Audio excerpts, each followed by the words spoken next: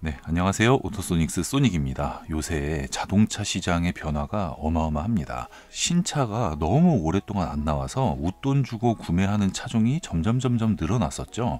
그리고 연식 변경만 됐을 뿐인데도 가격이 엄청나게 오르는 그런 상황들이 있었습니다. 지금도 신차 계약을 해놓고 1년 가까이씩 기다리시는 분들이 많이 계신데 자, 내년부터는 할인을 받고 구매하는 시즌이 다가옵니다. 을의 입장에서 신차 구매를 했었는데 내년부터는 예전처럼 갑의 입장에서 신차 구매를 하는 그런 상황이 벌어질 것 같습니다. 금리 인상에 대한 부분이 가장 크죠. 사실은 다달이 납부하는 리스료나 할부 금액의 비용이 늘어났어요. 예를 들어서 한 3개월 전만 해도 한 달에 내는 비용이 200만 원 정도라고 생각을 했다고 치면 지금 이거 단순 계산으로 지금은 한 250만 원 정도를 납부해야 되는 그런 정도로 이자가 엄청나게 올랐는데요. 거기에다가 12월 달, 내년 1월, 2월 이렇게 되면 그 비용이 더욱 늘어나서 이제 뭐 300만 원 내게 생겼습니다. 그러다 보니까 그 부분 때문에 DSR에 걸리게 됩니다. 그래서 선수금을 조금 더 납부를 해야 되는 그런 상황이 되어버리는데 선수금을 더 납부할 상황이면 괜찮은데요. 차 등급을 낮추지 않는 이상 답이 안 나오는 경우가 많기 때문에 취소하는 분들이 늘어나고 있습니다. 중고차 시장이 먼저 무너질 거고요. 비인기 차종이 그 다음에 무너질 거고요. 우리들이 많이 구매하는 차량 가격대 요 이하급의 자동차 먼저 무너지기 시작할 겁니다. 중고차 시장에서 가격이 하락을 해버리면 신차 같은 경우에 같이 동반 하락을 하게 되는데요. 아파트 갭 투자를 할 때 전세 가격이 어느 정도 높은 상태에서 집값이 오르는 것과 같은 개념으로 생각을 하시면 됩니다. 감가율을 따지지 않고 구매하진 않잖아요. 그렇기 때문에 중고 가격 하락이 신차 구매에 대해서 할인율을 높이는 또 할인이 시작이 되면 중고 가격은 더 떨어지고 이런 상황이 내년엔 다가올 것 같습니다.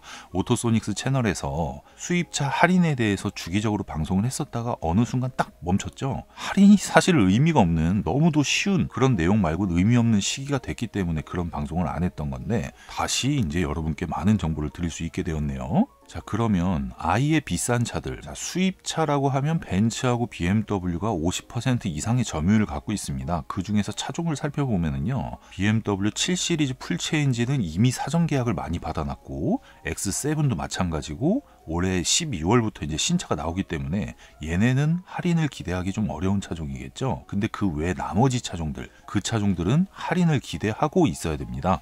앞으로는 신차 구매하기 되게 좋은 타이밍이 될 건데 금융 리스, 운용 리스, 할부를 이용하시는 분들 같은 경우에는 차량 등급을 어느 정도 낮춰서 구매를 해야 되는 그런 상황이 도래할 거기 때문에 BMW 따로, 벤츠 따로 이렇게 또 방송을 준비할 내용인데 메르세데스 벤츠 같은 경우에는 회사를 운영하시는 분들, 법인 사업체를 운영하시는 분들이 주로 구매하는 럭셔리 카로 보면 S클래스가 대표적이잖아요. 그 S클래스의 판매 대수가 지금 많이 줄어든 상태고 대기 기간도 굉장히 줄어든 상태입니다.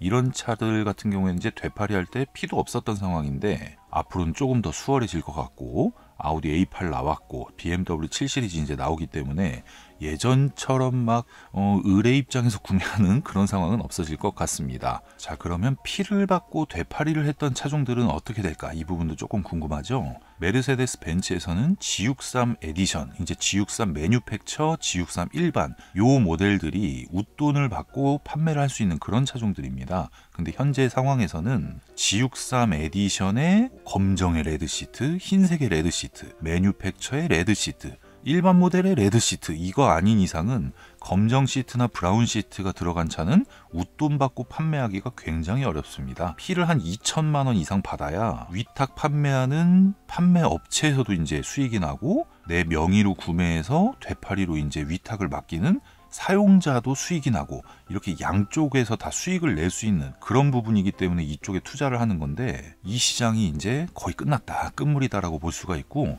수출로 나가는 물량 말고는 없을 거예요. 우리나라 국내 내수 소비자가 글쎄 그 어마어마한 이자에 웃돈까지 주면서 사는 시장이 이제 거의 끝물이다 이렇게 보시면 되고 GLS 600 마이바흐 같은 경우에는 1년 동안 판매 중지 상태였어요 그렇기 때문에 이게 계약이 쌓이는 그런 상황에서 웃돈이 막 3천, 5천 이렇게까지 붙었었던 건데 출고 대수가 갑자기 늘어나기 시작했고 경쟁 모델인 레인지 로버도 한 달 판매 대수가 100 대씩 나오니까 수요는 빤하거든요. 거기에다가 이제 회사를 운영하시는 분들이 빚을 줄이는 그런 상황이기 때문에 금리도 올랐고 이쪽도 업자들이 계약을 해놓은 거를 취소하는 경우 피를 못 받는 시장이 됐으니까 뭐 계약을 유지할 필요가 없잖아요.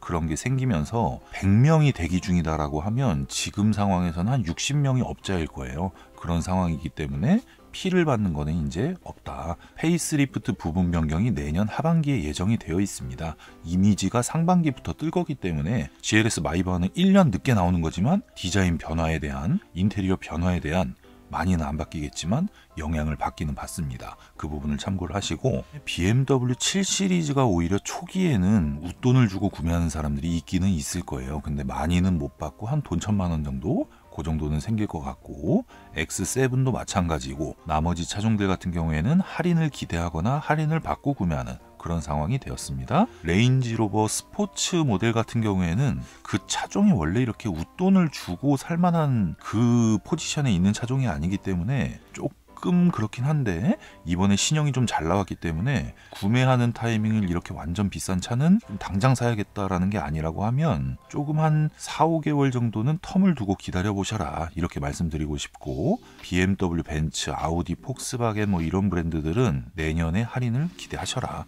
요 정도로 설명을 해드리고요. 현대차, 기아차 같은 국내 브랜드 자동차는 웃돈 주고 구매하면 안 되죠 지금 이제 물량이 폭발적으로 늘어날 가능성이 있기 때문에 금리 인상으로 취소를 하는 경우가 많기는 한데요. 수입차 쪽에서는 생각보다 그렇게 많지가 않아요. 특정 브랜드처럼 등록세 취득세만 내고 풀할부를 썼던 그 브랜드들이 지금 갑자기 30% 선수금을 내야 되기 때문에 그쪽에는 좀 취소가 많은 것 같습니다. 세부적인 내용은 따로 방송하도록 하고요. 오토소닉스 채널 구독과 좋아요 알림 설정 부탁드릴게요. 감사합니다.